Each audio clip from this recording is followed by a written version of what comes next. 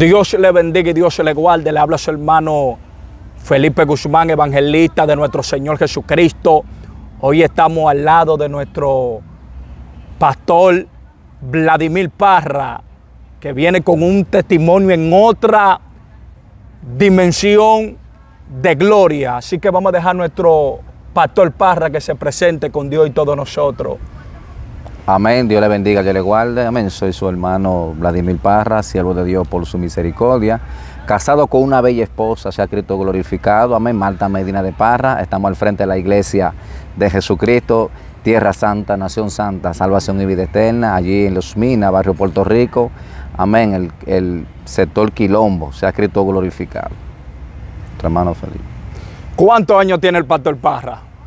Amén, gloria al Señor. Tenemos 43 añitos enviados. 43 años. Sí, Dios sí. mío. Eh, para saber un poco más de lo que es el pastor Parra, eh, hablan un poco de sus orígenes, de dónde nació el pastor Parra y, de, y dónde se crió. Amén, gloria al Señor. Nacimos en la Martinidad de Altagracia. Mi mamá en esta ocasión vivía en Villa Juana, en la calle Moca, casi esquina, gloria al Señor Juan Heracio, si no me equivoco. No, Peña Valle, casi esquina Peña Valle, Sacreto glorificado. Ahí, en ese tiempo, vivíamos ahí, luego nos mudamos hacia acá, hacia estas áreas, la zona colonial, gloria al Señor. Nos criamos por aquí, por esta área, luego de ahí.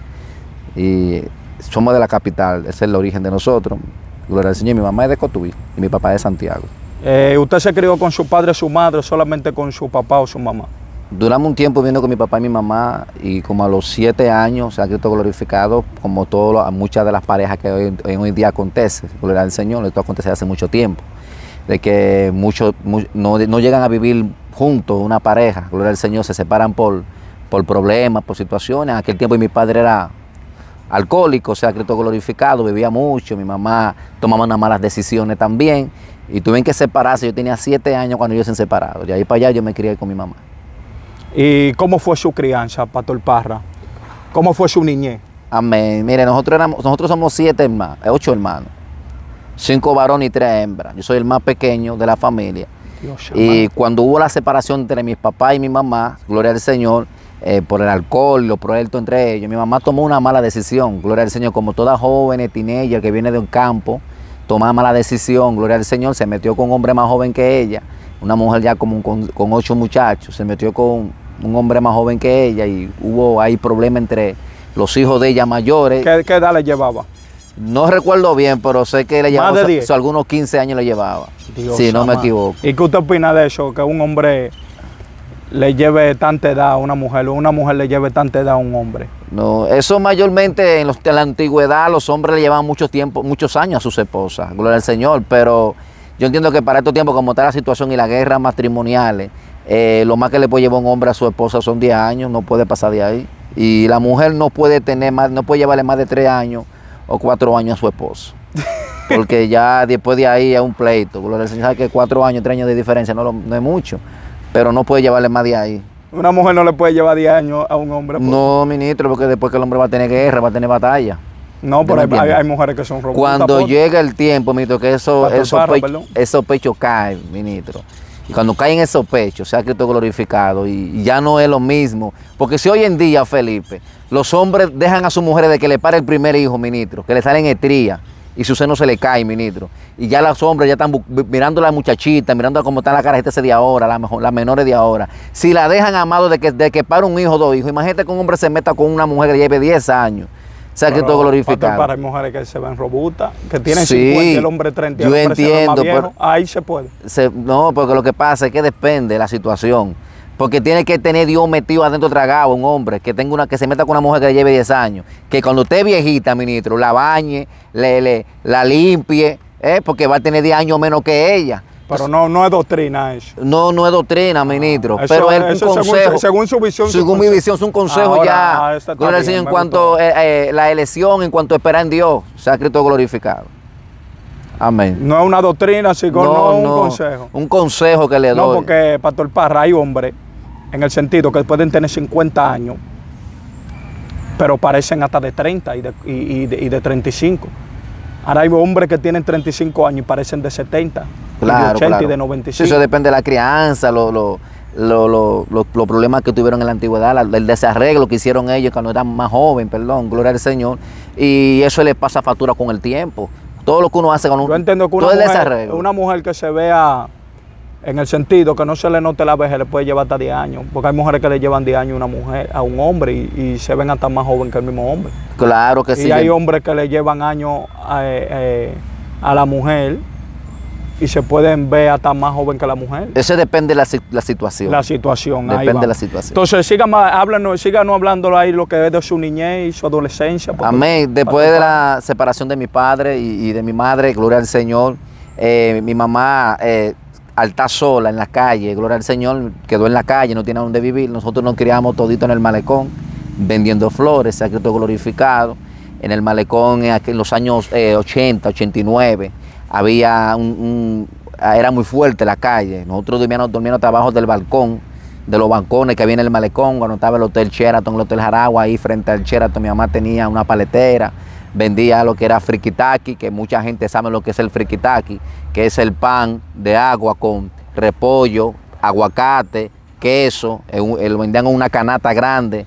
Gloria al Señor, mi mamá vendía frikitaki, vendía café, vendía chocolate y amanecíamos y ahí dormíamos. Muchas veces dormíamos, ah, teníamos que dormir ahí porque no tenían un hogar. Entonces cuando mi esposa Wow. conoce al joven, al hombre más joven que ella, de San Cristóbal, por eso que un su, tiempo... su madre. Eh, mi, ma- mi madre, perdón, sí. Cuando mi madre conoce, gloria al Señor, a ese hombre más joven que ella, eh, de San Cristóbal, ella se va a San Cristóbal, gloria al Señor, y allá se muda en Madre Vieja Norte, gloria al Señor, y duramos un tiempo allá viviendo en Madre Vieja Norte, en San Cristóbal, luego un tiempo en la zona verde, luego en Atillo, hasta que volvimos para acá, para la capital.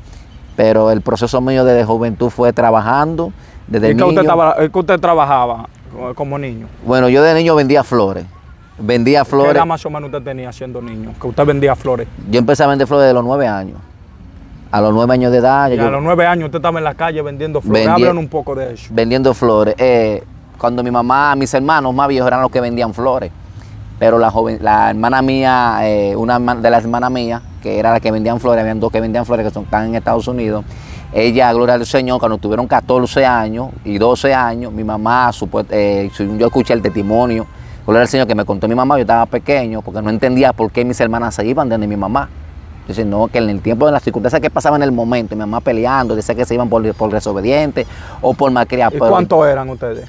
Eran los- con mi mamá vivían los seis. Seis. Y Seis, se fueron yendo uno a uno. Se fueron yendo uno a ¿Y por uno. qué? Porque tú sabes que no es difícil un niño criarse con un hombre que no es su padre, Con el padrato. con el padrato, ¿entiendes? Eh, hay aguantaban- padratos que salen buenos, por ahí Hay otros que no, este salió malísimo, Y ¿entiendes? hay madratas también que salen buenas y otras salen malas. No en todos los casos. Claro, entonces. Pero ese salió mal. Ese salió malo porque quería, quiso maltratar muchas veces a mis hermanas, siendo hembra. Entonces ya dijeron que no iban a soportarle golpe a un, a un hombre que no es su papá. Y decidieron irse para uno para de mi tía, una hermana de mi papá, otro para de mi papá. que le daba de abuso ya. Sí, entonces él no trabajaba, nosotros teníamos que mantenerlo. Porque hay hombres que son así, entonces mi mamá ciega enamorada. porque Ustedes dije- era que mantenían a su padrato. a mi padrato, ministro. Mi padrato Ustedes no- con nueve, diez años así, no 11 quería años. hacer nada. Incluso yo, yo tengo una cicatriz ahí con un palo que mi, pa- mi padrato me dio, me sacó, me dieron puntos. Y mi mamá aún así no, gloria al Señor, no le importó porque son ¿Y madres por, qué que se le. ¿Y por qué fue que le dio? Fue porque él quería ver, él estaba viendo música, yo estaba viendo televisión. Y cuando yo vi que estaba viendo música, estaba viendo televisión, entonces él eh, apagó, eh, yo vi que él apagó eh, el radio y yo apagué el televisor y fue a prender radio para estar junto con él. Y, y él se molestó y me dio un palo en la cabeza. Yo tenía, no sé, yo tenía 14 años ya.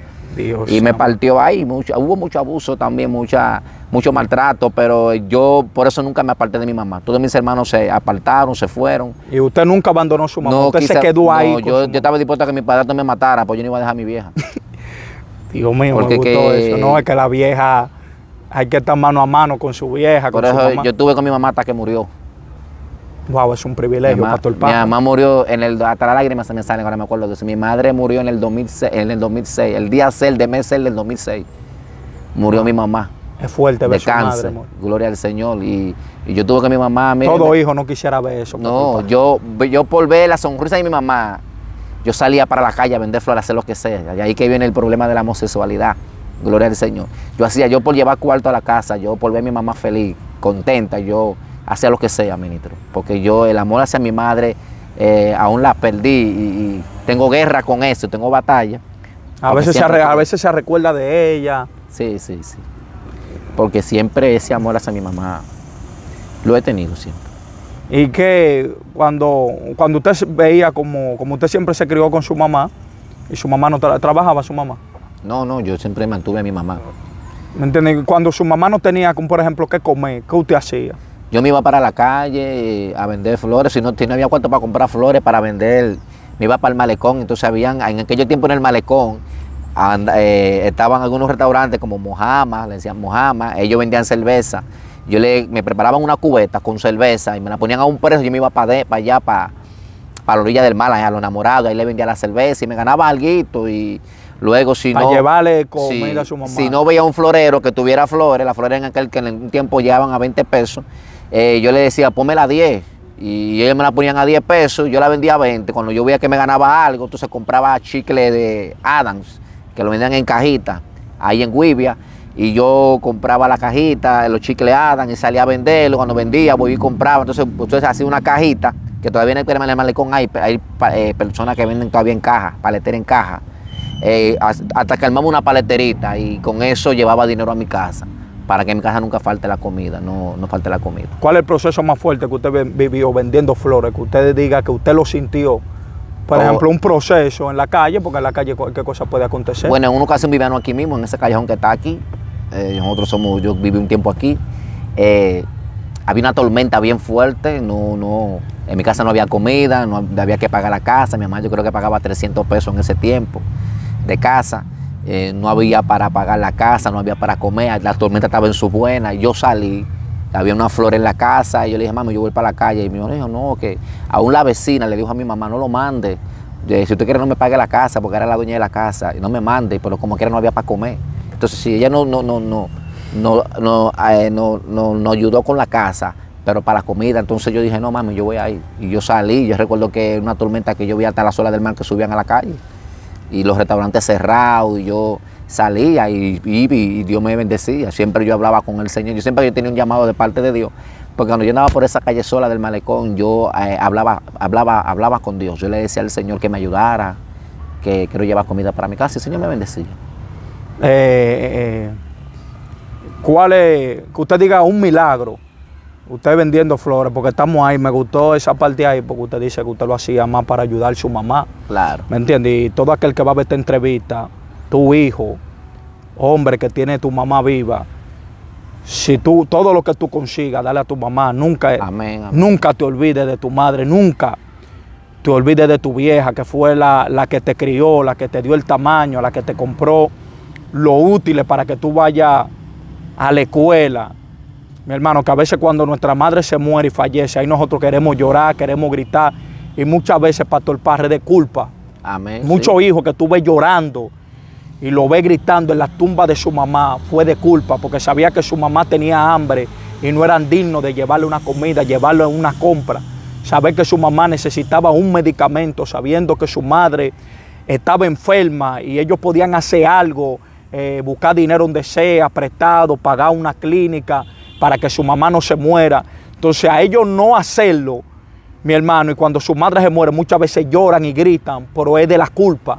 ¿Me entiendes? Amén, Pero cuando así tú entiendes que tú cumpliste con tu madre, que le diste lo que ella necesitaba, eh, que mi mamá si tenía que comprar una casa se la compraste, si no tenía pero le pagaba su casa, le ayudaba en lo que ponía, en lo poco que Dios te daba, ayudaba a tu familia, a tus hijos, pero también te acordaba de tu madre. Cuando tu madre se muere, porque todos vamos a morir, Amén. tú sientes que tú cumpliste con Dios y cumpliste con tu madre, te duele, pero no te duele ya lo que es a esa magnitud de frustración, porque hay muchos hijos frustrados porque saben que lo que podían hacer con su madre no lo hicieron. Ahora quieren tenerla viva para poder darle el amor, el cariño, sacarle un restaurante, eh, llevarla a comer, pero no pueden y están así. frustrados. Entonces tú que tienes tu madre viva, eh, dale cariño, dale amor, eh, sácala a comer, ayúdala con todo lo que necesite, que Dios te lo va a multiplicar, te va a bendecir en grande y te va a alargar los días.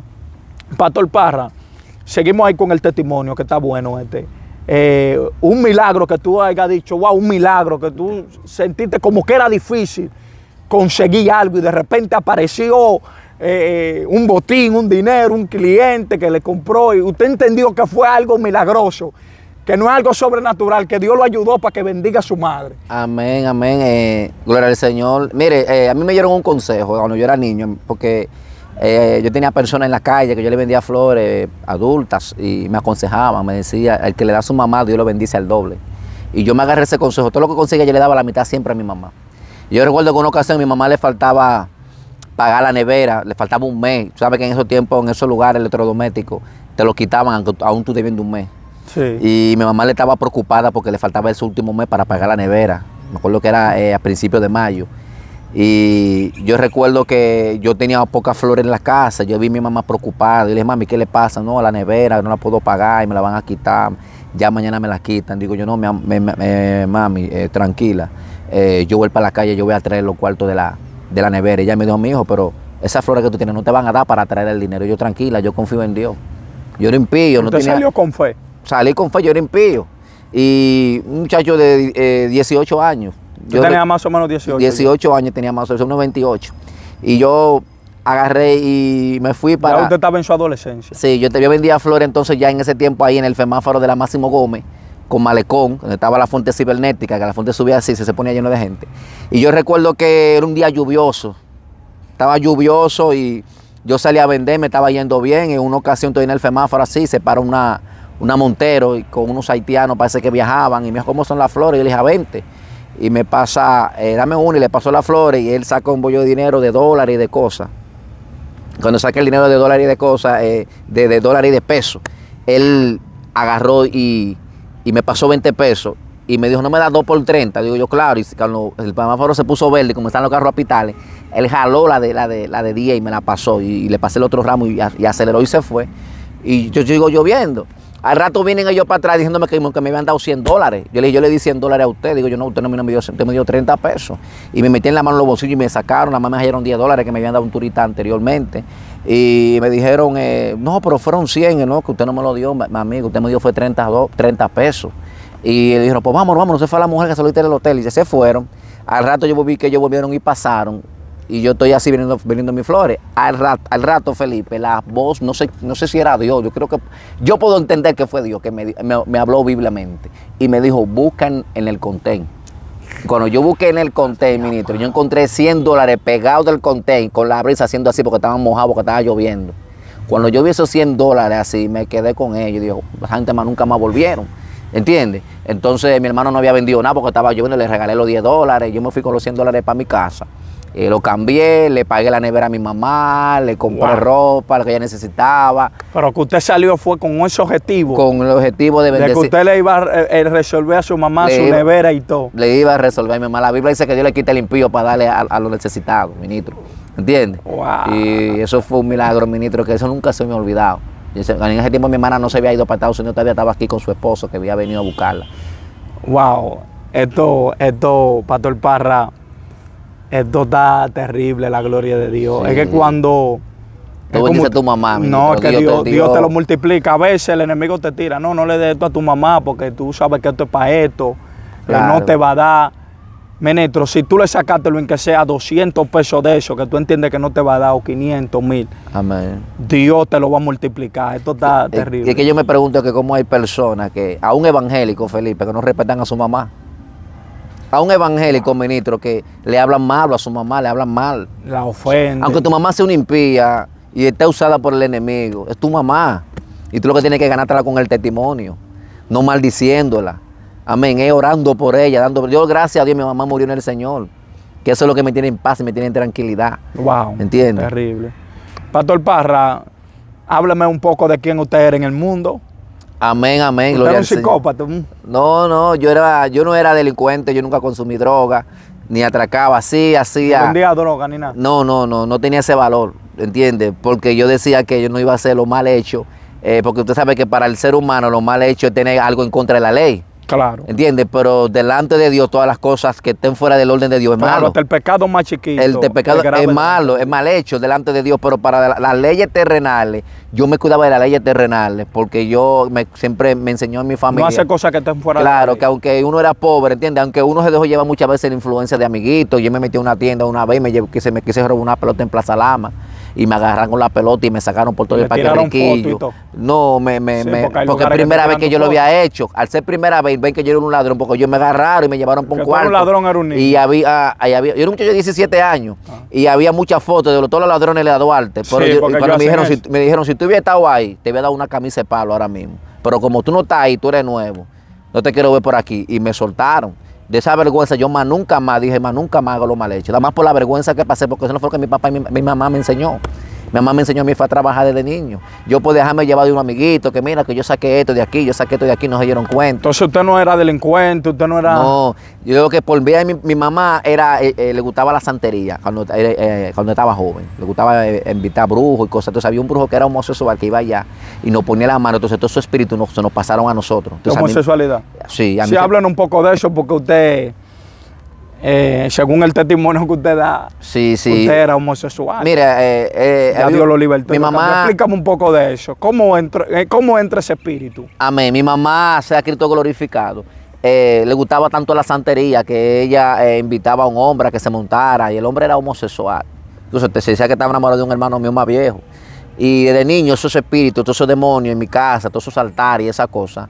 Por eso, Porque la gente cree que la homosexualidad, que se, que, que se nace con eso, que eso es natural. No, esos son demonios generacionales que vienen del tiempo en tiempo. Sí, por eso que usted ve que hay muchas veces que hasta niños, usted lo ve medio partido. Claro. Si usted analiza, ministro, todo homosexual, el 90%, no todo, pero el 90% de los homosexuales tiene un altar con San Miguel en su casa. Y con Parra, yo Anaísa. entiendo que hay, en el sentido, hay demonios de homosexualidad generacional, como dice Juan capítulo 9, Sí, que cuando ven el, el ciego de nacimiento, sus discípulos le dijeron, Señor, ¿fue que pecó este o pecó sus padres para que haya nacido así? ¿Me entiendes? claro, sí. Le dijo, no, sino para que la gloria de Dios se manifieste en él. Hay personas que son espíritus generacional que desde que nacen, y ese espíritu está ahí, pero hay personas que eh, no nacen con ese espíritu o ese demonio, sino que en el transcurso del tiempo, sea que lo violaron o algo, comenzaron a practicar, o alguien lo llevó a practicar la homosexualidad, ese espíritu toma posesión de él, pero no fue que nació con él. Ahora hay personas que sí ese espíritu lo toma desde su genética, desde que Amén. nacen, pero hay otro que es mediante ya en el camino le abren puertas a esos espíritus, o sea que lo violen y ese espíritu se apodera de ellos, pero no fue que nacieron así. Amén. Pero No, ¿Usted fue que nació así o fue mediante ya el tiempo? mediante se- el tiempo. Se le abrió ese... eh, Sí, ese espíritu me visitó. Yo, ¿Y eh, cuándo fue específicamente? Bueno, yo desde niño comencé a, a- a- a hacer cosas de, de- de homosexualismo con los niños. Haciendo, el- cuando estábamos pequeños le decían mala, frescu- mala frecura, le decían así.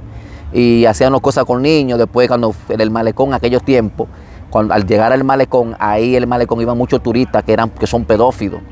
Muchos turistas venían de, de fuera pedófilos y se llevaban niños, le pagaban dinero. Como había muchos niños pobres, eh, lo que en, estos tiempos le- en aquellos tiempos le decían palomos, que huelían cemento, otros Sí. vendían flores, otros eran limpiabotas.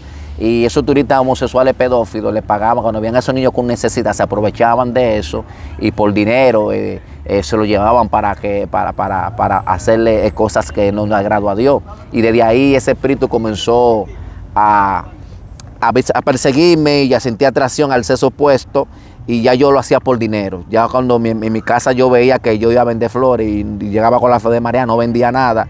A mí me daban una pela la mayoría de veces. Mi padrastro, si yo llegaba a mi casa... Sin dinero, sin era una pela Era segura. una pela. Usted tenía que entonces- venir con dinero obligado. entonces, a ese espíritu persiguiéndome a mí, aparte de eso, las ofertas que yo, que yo no quería, gloria al Señor, pero ya cuando me vi, para yo aguantar golpes en mi casa, yo mejor a veces accedía eh, a, a tener intimidad con, con, con pedófilos, gloria al Señor, que me tocara mi cuerpo para, para poder llevar dinero a mi casa. O sea, Cristo glorificado. Y la mayoría de esa gente le pagaban a uno para que uno se, eh, se deje tocar, eh, el sexo oral, muchas cosas, sea Cristo glorificado. Hay algo, Pastor Parra, ahí. Para que usted explique a la multitud, porque hay algo confuso. Yo voy a hablar claro yo no mi sentimiento. Fuego. Pastor Parra, usted era un hombre que en el mundo, según yo escuché también, tenía muchas mujeres. ¿Verdad? Ajá, sí. También tiene tres hijos. Y no se sabe cuánto más por ahí que usted ni sabe. Entonces, si usted era homosexual, Pastor Parra, según el testimonio, entonces, ¿dónde viene? Que usted en el mundo también, usted ha testificado que tenía muchas mujeres, tiene tres hijos. Entonces, hay como una confusión ahí, Pastor Parra, porque Mira, Los homosexuales no tienen mujeres, ni hijos, ni nada. Explícale eso a la multitud. amén, mire, la, la rama de homosexualismo tiene varias ramas. Está la, la que es la transexual, el transexual, que es el que se hace. Está el travesti, que es el que se viste de mujer. Eh, hay un homosexual que se viste como hombre. Gloria al Señor, que muchas veces en antigüedad le llamaban que salió del que, eh, que está en el closet. El que está en el El que está en el closet, que no ha salido supuestamente del closet, que ya, ya todo el mundo salió del closet, ya nadie, na- nadie está metido en el closet. Eso está a la clara ya. Pero en aquellos tiempos uno paraba metido en el closet y, y yo tenía atracción a, a, a, ambos sexos, ¿entiendes? Yo, Entonces te- usted yo era yo le bisexual. se le puede llamar porque la bisexual está también en la rama de la homosexualidad. Porque todo el que se acuesta con un hombre de su mismo sexo es un homosexual. Pero el- el- el- la homosexualidad, ¿usted era el hombre o era la mujer? Mayormente el hombre, Usted era el hombre. el hombre.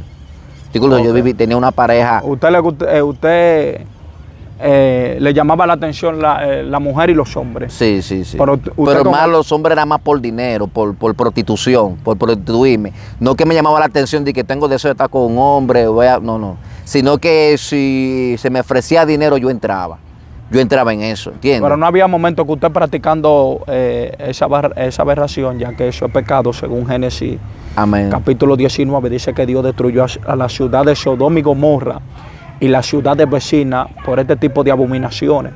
Entonces, la Biblia establece que hay un espíritu que Dios depositó en el hombre, ¿me entiende? Que es el que va a Dios, que lo dio, y el Espíritu Santo trata con ese espíritu que Dios le entregó al hombre, el soplo de vida, Amén. y hace, eh, hace entender al hombre que lo que está haciendo está mal. Entonces usted nunca sintió la reprensión, aún usted siendo impío, de que lo que usted estaba haciendo estaba mal, porque yo sé que hay muchos eh, homosexuales, muchas personas que practican eh, eh, este tipo de actos, que yo sé que también lo, ha- lo han sentido, porque eso son cosas que van en contra lo que es de la naturaleza. Ellos mismos entienden, aunque ellos se justifiquen y hagan marcha, que no, y pongan que, que Jesús es gay, que Dios va de acuerdo, hay algo dentro de ellos, del interior, aunque ellos se rebelen, que le hace entender que lo que ellos están practicando va en contra de la voluntad de Dios. ¿Usted sintió en una ocasión eso, Pastor Paz? Mira, eh, mucha gente eh, se ha equivocado que se pregunta que si un homosexual no siente una represión de parte de Dios. Mira, el que no conoce a Dios no va a, sen- no va a sentir una represión. Por Oh. eso es que lo- lo- los ateos que niegan la existencia de Dios, ellos saben en su ignorancia que hay un Dios todopoderoso. Hay un Dios, claro. Ahora, ellos niegan la existencia para no sentir una reprensión, para no sentir que tener que presentar. Pero Dios le hace sentir a ellos que ellos están mal. ellos, ellos saben que hay un Dios. Ahora bien, en su atadura, Ignorancia. en su pecado y atadura, eh, ellos no van a sentir una reprensión. Porque para tú poder sentir una reprensión, tienes que tener el espíritu. Si tú no tienes el espíritu, tú no te vas a sentir, tú no te vas a sentir reprendido. Porque acuérdate que la Biblia dice que él es el que no hace, él es el que no hace, no hace entender que estamos mal delante de Dios. Nadie reconoce su que está mal si no, si no, si no es por el Espíritu de Dios. El único que nos hace a nosotros reconocer que estamos en pecado delante de Dios, que No, cometimos, que personas, fallamos. ahora hay personas que son impíos y pueden sentir una represión de parte de Dios, Pastor. Porque el mismo Espíritu está tratando con ellos. Ah, claro. sí. ¿Entiendes? Porque el Espíritu no está tratando con ellos, porque Dios comenzó a tratar conmigo. Usted sintió eso. Yo me, que- yo me quería quitar hasta la vida. Porque la represión que yo sentía no era la de Dios, yo sentía la represión de los hombres. ¿Y cómo usted quería De la quitarse- familia. ¿Cómo usted quería quitarse la vida? Eh, llegó una ocasión cuando mi, ma- mi madre muere, eh, eh, yo quedé solo en la calle. Mi- mis hermanos todos me dieron la espalda en ese momento, muchos eh, estaban incómodos por, mi, por mis acciones. Eh, gloria al Señor y yo me quería, llegó un momento de depresión que me quería quitar la vida. Una ocasión me pasó una gilet por aquí, por el cuello. Me pasó una gilet eh, nueva, compré en el colmado y, no entiendo. Yo mismo hasta ahora no me explico, todavía no entiendo. Yo he estudiado la Biblia y he, he escudriñado la palabra de Dios, pero no entiendo por qué esa gilet nueva no me cortó. No lo cortó. No me cortó ni siquiera la primera capa de arriba de la piel, que son tres pieles que tiene la capa. Ni Yo me la- sangre y yo me la pasé, no, ministro. Padre amado. Y yo me la pasé con el objetivo de quedarme desangrando ahí escondido, nadie se sepa. Otra ocasión agarré una correa y me quise ahorcarme, sea Cristo glorificado, y, y se rompían los tubos con la correa, donde, me- donde, donde amarraba la correa para quitarme las vidas. Pero eh, hasta que uno, una- en una ocasión tuve una revelación donde me vi en una caja de muertos, donde me velaban, cuando me pusieron la capa, me dijeron, es bueno estar aquí. Por un- una cara me, dio- me reprendió, me dijo, es bueno, ¿tú quieres estar aquí? Wow. Porque ¿tú te quieres morir? Y yo me asusté. Dios le hizo entender ahí, a- eh, eh, ay Padre mío. Dios trató conmigo en ese momento. sea Cristo glorificado. Padre amado. Pastor Parra, háblanos un poco cómo, cómo usted viene a los pies del Señor, cómo Dios lo liberta de esos espíritus que usted tenía de prostitución, de homosexualidad, de la bisexualidad, que hombres, que mujeres, cómo Dios trata con usted, cómo usted viene a los pies de Jesús, cómo usted es libertado por Cristo. Amén. ¿Sabe que la Biblia dice en el libro de Isaías, capítulo 1, verso 8, dice que aunque tus pecados sean como la grana, como la nieve viene siendo emblanquecido, y aunque sean como branca lana, dice que serán emblanquecidos, dice que los serán emblanquecidos. Entonces, ¿qué está diciendo con eso? Como que, aunque sean como eh, rojo carmesí, ya lo pone como blanco lana, perdón. ¿Qué te quiero decir con eso? Eh, yo eh, amaba a Dios. Mi mamá buscaba la brujería. Pero yo desde niño no creía en esto. Incluso yo me hacía baño para que yo saliera a vender las flores. Por esos baños lo que hicieron fue que me prostituyera. Porque yo no vendía, yo no vendía las flores. El homosexual se lo daba. Para. Yo no vendía las flores y lo que hacía era que, gloria al Señor, que me prostituía como homosexual, me acostaba con homosexual. Entonces, Pero ese baño es para pa, usted a la cliente. Y que para vender las flores. Entonces yo decía, no, mami, no me baño con eso. Yo creo que Dios me va a ayudar. Yo creía. Mi mamá le puso un nombre, le puso un santo a cada uno de sus hijos. Entonces un demonio de eso a cada uno de sus hijos. Al hermano me le puso la, la que el Señor lo reprenda. Uno le puso Santa Clara, que el Señor lo reprenda. A mí me puso que, eh, San Antonio, que el Señor lo reprenda. ¿Por qué San Antonio? Nunca lo acepté. No sé por qué mi mamá lo hizo, pues yo nunca acepté eso. Yo renuncié, yo renunciaba. Ella me decía, yo le decía mentira. Y mí que me cuide Dios. Entonces, cuando eh, en una ocasión ya eh, vivía con una mujer, yo conocí una mujer, por era el Señor, que ella era de Carriá me metí con ella, nos, metimos en casa, nos, metimos entre casas, gloria al Señor. Yo tenía el homosexual, ella tenía un viejo. Entonces, gloria al estaba con homosexual, él estaba con el viejo. pero cuando yo decidí formar un hogar, porque yo estaba corriéndole la homosexualidad, pero no, no, yo cuando yo me acostaba con el homosexual, cuando él se iba, yo buscaba mujeres y dije para limpiarme. Porque pero yo se sentía inmundo. Me sentía inmundo. pero, era lo que le estaba explicando. Pero yo no, pero ya cuando yo comencé a tratar conmigo. Que hay, hay, hay personas que se sienten inmundos, inmundo. prostitutas, Entonces, yo, yo, yo, yo buscaba, yo buscaba, Porque Dios le hace sentir que lo que ellos están haciendo está mal. Amén. Yo buscaba mujeres. Y que para, usted puede sentirse que para sentirme limpio, pero yo me, yo me estaba enredando en, en otro pecado que es la fornicación porque me acostaba con tres, con cuatro, con cinco. O sea, era una confusión que había, ¿entiendes? Entonces yo no entendía que lo único que limpiaba el hombre del pecado era la sangre de Jesucristo. Ustedes estaban ensuciando más. Ensuciándome más, porque hay mucha gente que, que, van de la Virgen, donde van a Higüey, ministro, de que para, limpiarse se echan y que agua bendita y esas cosas. Se están lo único que limpia. La Biblia dice en el libro de Jeremías capítulo 2, dice la palabra verso 22, dice que aunque te laves con el y amontones jabón sobre ti, tu pecado permanece delante de mí. O sea que el único que puede limpiar al hombre del pecado se llama la sangre de Cristo. Aceptar a Cristo como su Salvador. Entonces yo conocí a esta mujer que ella era eh, descarriada y ella tenía su viejo y yo tenía mi homosexual. Entonces, ¿qué aconteció? Eh, eh, Dios parece que comenzó a, arreglar las cosas, que yo comencé a rechazar ya y hablé con el homosexual y dije que iba a, iba a terminar la relación porque quería formar una relación formal con esta mujer. Pero esta mujer no quería terminar la relación con el viejo porque el viejo le mandaba su cuarto. Yo renuncié a lo que me mandaba el homosexual, pues ella no, ella no renunciaba a lo que le mandaba el viejo. Entonces, ¿qué acontece? nos metimos entre casas, tuvimos muchos problemas. Eh, me tuvieron al matar dos veces. El dos veces Dios me libró de la muerte. ¿Cómo? Andando en la calle bebiendo porque yo iba a Macumba y la cerveza por mitad y yo me sentía incómodo, me sentía mal. Eh, algo me decía, tú no perteneces a este mundo, tú no perteneces aquí. Eso era Dios tratando Dios tratando conmigo y yo no quería más porque a mí no me... bebiendo, Dios le siente Yo no recuerdo el día que me dieron un tratado, Felipe. Y Dios trató conmigo. ¿Usted, usted no se recuerda un día que le dieron Que me predicaron, que me dijeron, mira, es un, un megáfono, yo no escuché nada de eso. Yo vine a saber lo que era megáfono. Quizás no lo escuché, estaba ciego, no, veía. Quizás usted lo escuchó y no le prestó atención. No le presté atención. Pero el Dios me trataba conmigo, me decía, tú no perteneces a este mundo, yo te estoy llamando. Aún usted bebiendo. Aún yo, yo dejaba la me iba para la, me iba para la casa, entonces, eh, eh, gracias al Señor, eh, de donde yo vivía, me mudé con la, con, la, con la muchacha, abajo eran cristianos, pero eran de los Jesús solos. Y ella me predicaba. Usted se convirtió en un... ella me invitó a la iglesia de los Jesús solos. Ahí fue que la primera vez que me, hablan, me muestran hablarme de Dios. Y yo le dije que iba a ir. Y después que intentaron matarme varias veces, yo dije, yo no voy a esperar que el diablo me mate. Que ese es otro testimonio, que me pusieron una pistola ahí, otra peleé en un dream. Y, Dios me libró de la muerte ahí porque me, iban a hacer, me iban a matar.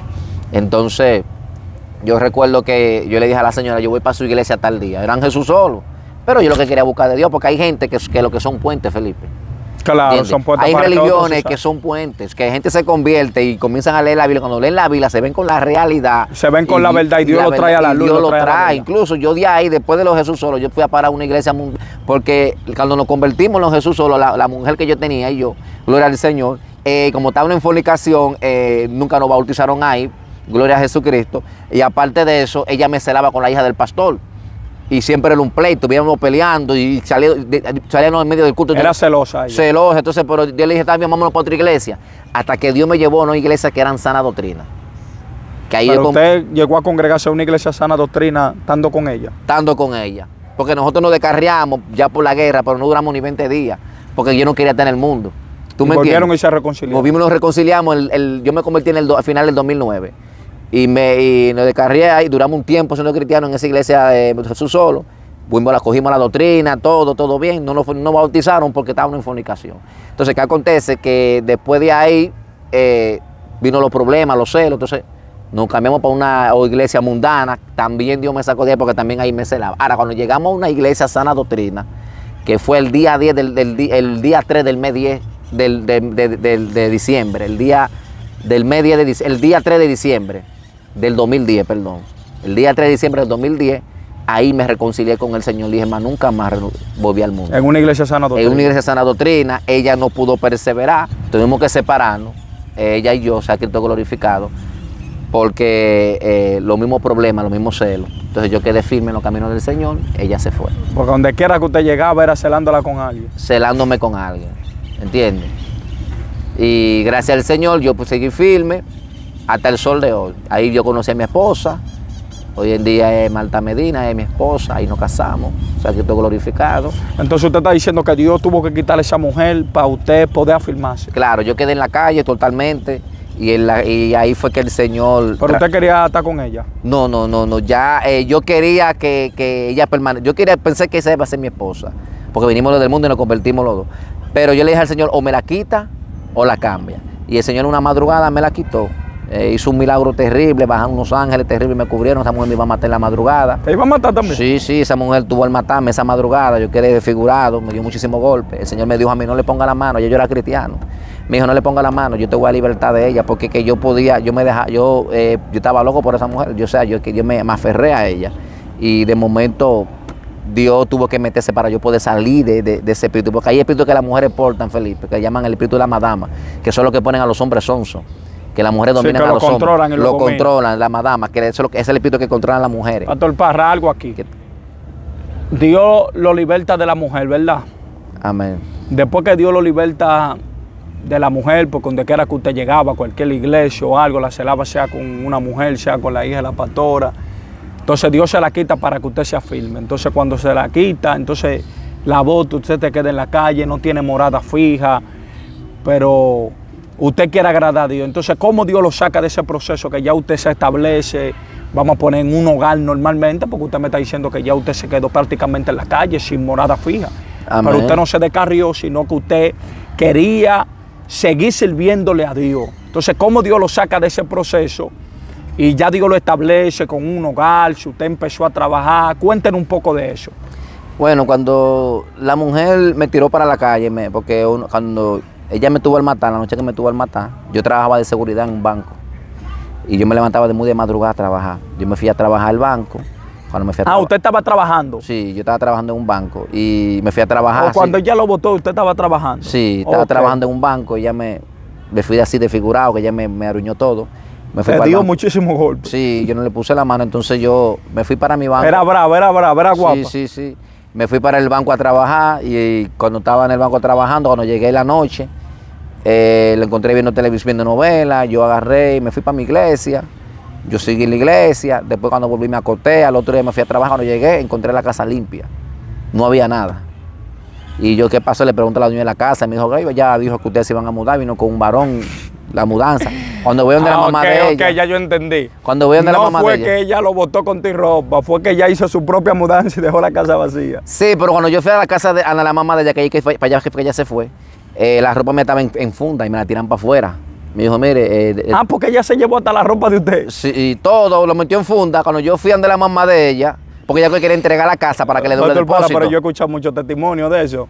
de mujeres que hacen su mudanza y cuando el hombre llega, No encuentran nada. la casa estaba así. Yo no encontré, no, porque yo en verdad yo no había comprado nada. Prácticamente ella tenía todo su tratado, yo me metí con ella. Yo, ah, no. pues, entonces, entonces, ¿qué acontece? con Eh, más velas, por aquí hay personas, hombres que Pero me han- dejó sin nada, me dejó hombres que le han comprado trate a las mujeres, sí, sí. la han amueblado con todo y cuando ya no quieren estar con el hombre, esperan que el hombre se vaya a trabajar, eh, hacen su mudanza, cuando el hombre llega en blanco. ¿Cómo, cómo- usted se sintió cuando vio ese blanco, ese vacío? No, yo dije, ¿qué pasó aquí? ¿Entiendes?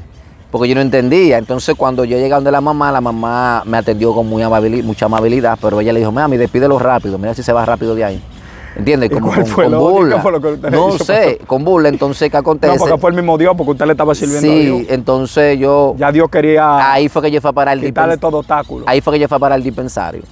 Ahí yo comencé a amanecer en un dispensario, esperaba que cerraban el dispensario. Yo me iba a trabajar, llegaba a las seis, a las seis cerraban el dispensario. el- y yendo a su iglesia todos los días. y el varón me, me abría el dispensario, ahí yo me bañaba, mi ropa estaba en funda, yo dormía en el piso, ahí fue que yo empecé a siliciar. Entonces yo iba para mi iglesia, entonces yo llorándole al Señor por el proceso que estaba pasando, yo iba a la iglesia, yo de que entraba a la iglesia era con los lagrimones, llorándole al Señor me tiraba de rodillas, entonces el Señor me dio una palabra y me dijo, si en lo poco me de fiel, sobre lo mucho te pondré. Yo me quedé firme, yo recuerdo que pasaron los tiempos y me bautizaron, gloria al Señor, cuando me bautizaron, eh, la mujer me llamó de nuevo, la que me votó, diciendo que tú eres el hombre que yo amo, que yo le dije, el hombre que tú amas ya se murió, tiene arriba mano guayabo. Yo soy nueva criatura en Cristo, Después, arrepiéntete. después que, que usted se bautizó, fue que vino esa guerra. Vino que esa- ahora quiere. Volvé conmigo. Entonces yo le dije, el hombre que tú amas ya se murió. Él tiene el río mano guayabo, río abajo. Eso fue para que usted retroceda. Sí, entonces yo pensé, tú me entiendes, ella me dijo, mi pensé, pero yo me acordé de todos las, todos los maltratos, de todo lo que entonces yo me acordé de que Dios me dio una oportunidad y que yo no podía desaprovechar esa oportunidad que Dios me dio. Entonces ahí fue que yo le dije a ella, yo le, yo le dije a ella, mira, el hombre que tú amas ya se murió, tiene el río mano guayabo. Arrepiéntete. Entonces ella me dijo, yo me voy a arrepentir también para que Dios, yo, porque también arrepiéntete. Y de ahí yo me aparté, eh, no supe más de ella, hasta que... Pero se apartó del evangelio, pastor. Eh, no, y aparte de directamente de, de lo que es la comunicación con ella. O sea, todo lo que es comunicación con ella, toda la- yo me aparte de todo eso. alquiló su enf- casita. yo me claro, yo Eh, eh, me- metió su tratecito. Dios me dio otro trabajo, eh, salí del trabajo de seguridad y me dio un trabajo en un lugar que sin ser profesional comencé a ganar mucho dinero, porque Dios comenzó a bendecirme. Dios comenzó a tratar conmigo. Wow. ¿Entiendes? Si aún se tenía un título universitario, yo comencé a ganar mucho dinero en un trabajo. No, Que- porque fue que usted le fue fiel, pastor. Sí, Dios me dio Dios para la palabra. Entonces, después de ahí, entonces Dios me conocí a mi esposa, Dios me la reveló, que era mi esposa. Yo se había revelado a ella, yo no estaba en eso. Pero después yo tuve que bajar la guardia y decir, está bien, Dios me reveló. Y al sol ya tenemos ya 10 años de casado. Para terminar con esto, Pastor Parra, eh, ¿cómo usted conoce a su esposa? Amén. Mire, eh, la esposa mía se congregaba en la misma iglesia que yo me congregaba. Pero yo nunca la veía porque la iglesia era un poquito grande, había muchos miembros.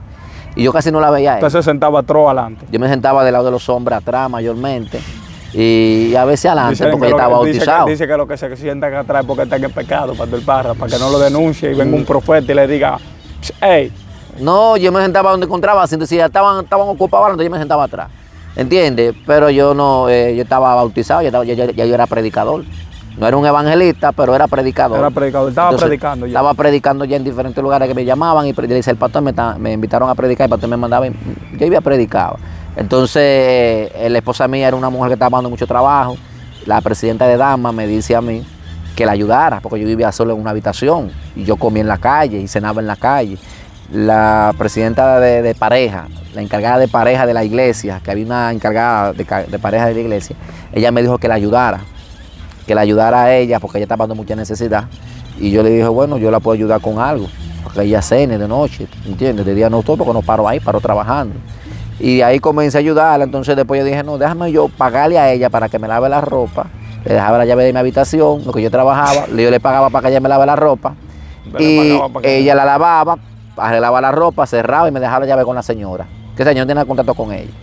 Entonces, ya en la noche nos veíamos, yo la saludaba normal, pero no, nunca pensé que ella iba a ser mi esposa porque eh, una lo que sí, cosa... porque si usted sabe que es su esposa. Usted sabe que no, humanamente... porque si usted sabe que iba a ser su esposa, no, no es lícito ya de que, Claro. de que ponerle a lavar ropa. No, entonces... Pero como usted no sabía, usted le pagaba enano normal. Entonces, eh, usted sabe que en el mundo uno, uno la carne tiene, un- eh, tiene un- su, su, su, su, su- el- su gusto en cuanto a la mujer.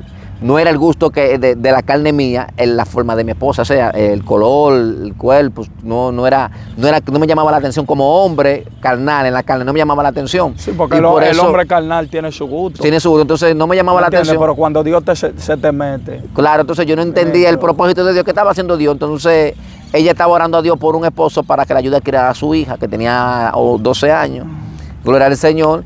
Y yo no tenía en mente eso. Entonces después yo, como no, no tenía nadie, yo vivía solo, yo me mandaron al hijo mío, perdón, me mandaron al hijo mío más viejo. Yo lo tenía él con 11 años ahí viviendo conmigo. Entonces yo para que el niño no me pase hambre, yo le dejaba dinero a ella para que ella no haga cena a nosotros o no haga comida a los dos. ¿Entiendes? Entonces de ahí o comían en su casa, ella comía en la mía, pero no había esa, pero ella ya estaba enamorada de mí. Yo cuando, cuando ella me dijo, me, me declaró que estaba orando por mí, entonces yo de- dije que no iba a visitar más su casa, que no iba más, su- más, para su casa, porque yo no quería que me sentaran en disciplina. Pare- pare- sí, ¿qué usted sintió cuando le dieron esa No, se yo me, turbó, sentí, me- no, me sentí incómodo. No, porque no era mi gusto. una guerra. No, no sentí guerra, porque yo no me quería casar, porque por lo que, por lo que pasé con la, con la, con la mujer, Usted estaba yo frustrado. quedé frustrado, dije, yo no me voy a casar más nunca más, porque, to- Porque usted todos esos golpes que a mí me dieron ministro, yo dije, yo no voy a, a- permitir a meterme otra vez mujer para que me vuelvan a dar golpes. ¿Usted me entiende? Pero la mujer que usted tenía lo noqueaba. Sí, ministro, porque que yo veía, veía a mi padrato, yo veía a mi padre, ¿tú me entiendes? Yo veía a mi papá como maltrataba a mi mamá en muchas Pero ocasiones. usted, usted ¿qué, usted sentía cuando la mujer le daba No, duro? yo me duro? cubría. Pero le daba duro. Yo me cubría porque yo practiqué bolseo y karate. Yo lo que dije, nunca le voy a poner la mano a una mujer. Pero ella le daba duro, le sacaba sangre y cosas. Ministro, por una vez me tuvo el matado con un pa, con un netillo, un palo. Yo tengo una cicatriz ahí que me fue como si hubiese un puñal me había matado. ¿Entiendes?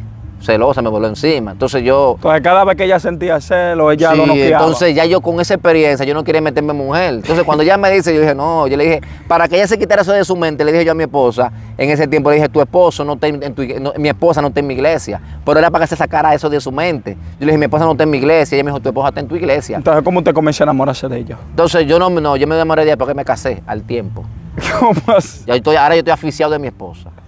Pero ¿qué acontece, ministro? Pastor, para, ¿cómo así? Sí, yo tuve una revelación. Ella, cuando me dijo- ella me a la dijo a mí que, escúchame, ¿Cómo?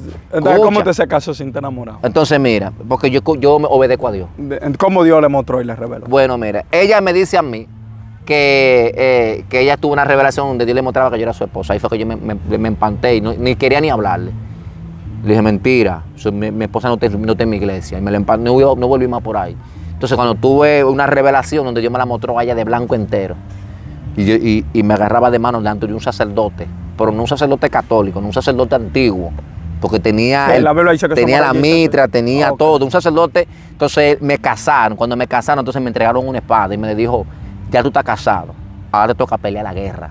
Y yo le dije a la esposa, Eso fue un complemento para el un- ministerio. un ministerio. Entonces yo le Sí, dije a hay ella, personas yo que le dije para a Dios poder expandir su ministerio tiene que entregarle a su esposo. Claro, yo le dije a ella, ya estamos O su casados. esposo. Yo le dije, ya estamos casados, ahora yo voy allá a la guerra. Cuando yo vuelva, vamos a estar juntos.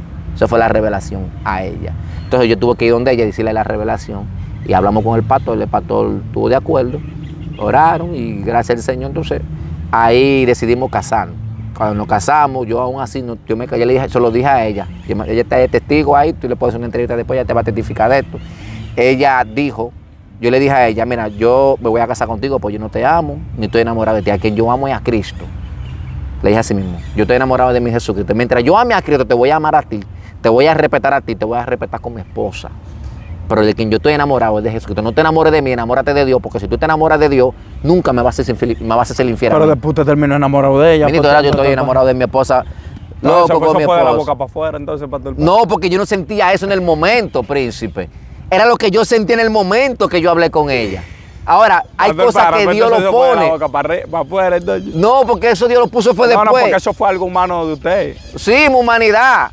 ¿Entiendes? Eh, eh, El temor hacia Dios y el amor hacia Dios que tengo, que eh, le hice entender eso a ella. Porque si- cuando, ¿cuántos hombres le dicen a su mujer, mi amor, yo te amo, mi cuchicuchi, cosa linda, cosa bella? Cuando ven a la otra tan débil, ministro, las rodillas le tiemblan y tú ves que te están tirando el ojo, bonito a otra, escondido de su esposa. Entonces, yo a mi esposa le puedo engañar, pero a Dios yo nunca lo voy a engañar. Pastor, para, pero usted vio muchas cosas en su esposa que le llamó la atención.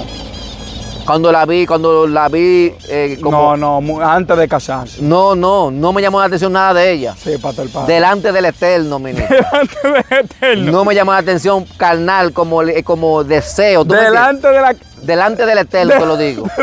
Yo me sorprendí, fue a la noche, porque nosotros nos casamos, nosotros prometimos darle el día, el primer día al Señor, nos metimos en ayuno y oración. Y después fue que tú llevamos al acto. Entonces cuando yo vi, dije, wow, pero yo, no era lo que yo creía, algo, algo tibio. algo Entonces ahí fue que ya usted se afició. Sí, ahí dije, bueno, pero... porque hay, hay mujeres que tú le ves el rostro, y es por los, por los trabajos que pasa, pero cuando pero su cuerpo es su cuerpo limpio, bonito. ¿Tú me entiendes? Entonces, no es lo mismo. ¿Tú me entiendes? Hay, gente que ve mujeres maltratadas porque por la aventura que visten, la gente cree que es una mujer. No, no, pero eh, eh, igual es una ciencia aquí. Es algo. En el caso de usted, hay casos que son viceversa. viceversa. Hay, hay, personas que están enamorados de su mujer supuestamente en el noviazgo que me cuche cuche, que regalándole, que dos mil, que vamos Y después que la ven. Después que se casan con ella. Que la conocen, como dice la escritura, que la conocen. Eso ha pasado con hombres y mujeres. Que tú ves que en el noviazgo, que, que mucho amor, que mucho cariño, que están aficiados, mucha gente lo aconseja y le dicen, eso no es de Dios, no te cases. Ese matrimonio no es de Dios. No te cases como matrimonio, eh, como testimonio que yo he escuchado. Al final de la jornada se casan y a los dos y a los tres meses y hasta el año ya están separados y hasta descarriados. ¿Me entiende? Pero en el caso de usted fue diferente. Hay casos que supuestamente en el noviazgo, de que, están enamorados, de que corando café, pero cuando llegan eh, eh, y se casan y se conocen, como dice la Biblia, que Adán conoció a Eva, tienen intimidad y todo, después aborrecen a su esposa y aborrecen a su esposo. Claro. Y dice, pero ¿con qué fue que yo me casé? ¿Qué fue lo que yo hice? Porque se enamoran de la carne, Fue que se enamoran de la carne, pero usted fue lo contrario. Usted estaba de que revelado. Sí. Y cuando se casó, que vio ahora usted está que, que ve esa mujer la la sopa para todo el par. Claro, pero hay personas que dicen cuando ven una mujer que dice, Dios le dice, me sé tu esposa y la ven prieta, con los cabellos duros y cosas, y le que, oh, Señor reprenda al diablo, pero no saben qué, qué, tremenda mujer es. Mi esposa, ministro, me lleva la comida a mi cama, mi esposa me, me, lava, mi esposa me atiende, mi esposa yo estamos en, en, enfermo, en gravedad, ministro mi esposa llorando conmigo entre la enfermedad. Está bien, y usted, Pastor Parro, usted la atiende y... Claro, yo cuando yo soy el que trapeo, yo soy el que lavo los baños en mi casa, yo soy el que trapeo en mi casa, yo soy el que limpio la casa. Pastor Parro, usted ayuda Yo lo que no me gusta mucho, como todos los hombres, no me gusta fregar. Pero cuando usted, si tengo que fregar, le frego, lo trate. Como le he fregado cuando uno, cuando uno ve todo eso tratería, eso es como un proceso, eso es como una guerra. Sí, un pleito. Eso es como una, yo lo que no le he cocinado todavía a mi esposa. De verdad que a veces que he intentado cocinar ya no me deja. Se mete. Miren que tú así, al final termina cocinando ella. Pero eh, en oficio y lavándole, yo ayudo a lavar. Cuando estoy en la casa ahí, yo soy el que limpio la casa. ella lava, a mí me toca lavar los baños, trapear la casa, limpiar la casa. Si día que despolvar, despolvar. Todo lo que hay que hacer en la casa, después para allá soy yo. Amén, amén. Terrible, terrible, terrible. Eh, un mensaje final, Pastor Parra. Un mensaje que usted quiera dar final para despedir. Amén, amén. Gloria al Señor. Dios le bendiga, Dios le guarde. Amén. Gloria al Señor. El mensaje que tenemos al final, mis amados, gloria al Señor, es que Cristo está a la puerta, Cristo viene. Todo aquel que puede escuchar este testimonio, este video, gloria al Señor. Sé que hay mucha gente que están pasando, gloria a Dios, de la misma forma que yo pasé, pasó también. Muchos que están pasando por este proceso. Pero déjame decirte, gloria al Señor, que te aferre a Dios, que te agarre del Señor. Así como yo creí en Dios que Él podía ayudarme y salí adelante, Gloria al Señor, yo sé que también lo hará contigo. Si tú crees de corazón, gloria al Señor, alabanza desde el cielo, si le crees a Dios, yo sé que Dios hará cosas grandes y prodigios con ustedes. Solamente hay que guardar la santidad, la verdad de Dios, gloria al Señor, que es la sana doctrina, la verdadera sana doctrina. Amén. Dios le bendiga y le guarde. Su hermano pastor Vladimir Parra.